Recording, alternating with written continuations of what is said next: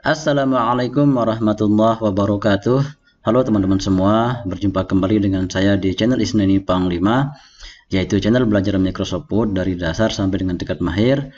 Belajar Microsoft Excel, belajar Microsoft PowerPoint ataupun belajar Microsoft Windows baik Windows 10 ataupun Windows 11 di video kali ini saya akan berbagi tutorial tentang cara melihat kata sandi WP di Windows 11 Nah, di video sebelumnya sudah saya bahas tentang bagaimana kita melihat password atau kata sandi di Windows 10.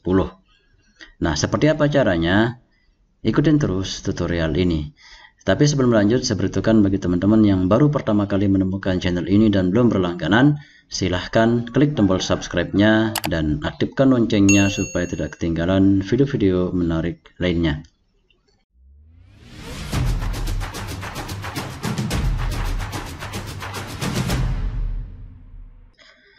Baik, kita mulai teman-teman.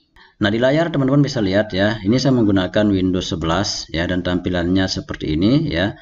Ini juga logonya sudah jelas seperti ini. Ini menggunakan Windows 11. Coba kita lihat di sistemnya ya. Saya klik kanan, saya pilih sistem.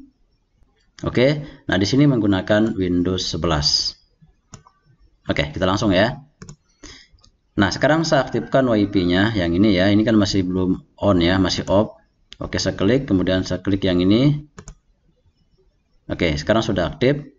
Saya klik yang ini untuk melihat WiFi yang sedang aktif ya. Nah, di sini kelihatan WiFi saya ya, is pang 5. Ini belum saya masukkan passwordnya ya. Saya klik, kemudian saya pilih yang ini, connect. Oke, saya masukkan passwordnya ya. Nah, di sini saya menggunakan password yang biasa aja ya. Tanya Pak Kades. Kita lihat. Nah, tanya Pak Kades ya. Setelah itu saya pilih next. Oke, sudah masuk ya. Saya coba lihat di Google ya. Apakah bisa? Oke, sudah bisa teman-teman ya. Saya buka YouTube. Oke, sudah masuk teman-teman ya. Oke, saya tutup lagi. Nah, sekarang kita coba cek teman-teman ya.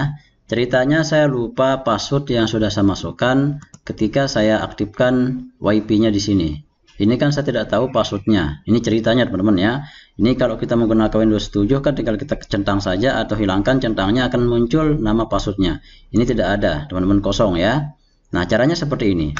Oke setelah tampil seperti ini. Nah di sini diklik WiFi-nya di sini ada uh, lambang dari setting ya. Silahkan diklik Nah, tampil seperti ini. Ataupun juga teman-teman bisa klik di start yang ini. Kemudian pilih setting yang ini.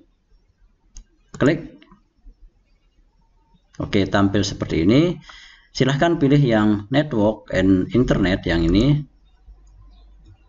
Kemudian pilih yang ini advanced network setting. Oke, tampil seperti ini. Silahkan pilih More Network Adapter Option. Silahkan diklik. Kemudian tampil seperti ini. Nah, kelihatan WiFi saya teman-teman ya. Ini ISPANG 5. Saya klik kanan. Kemudian pilih Status. Klik. Tampil seperti ini. Silahkan pilih yang ini.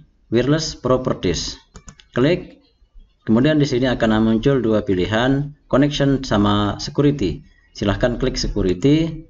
Nah, di sini akan muncul network security key. Silahkan aktifkan checkboxnya ya. Klik. Nah tampil passwordnya seperti ini. Nah ini password wifi saya teman-teman ya. Tanya Pak Kades. Tadi kan di awal sudah saya ketik dengan ketikan seperti ini.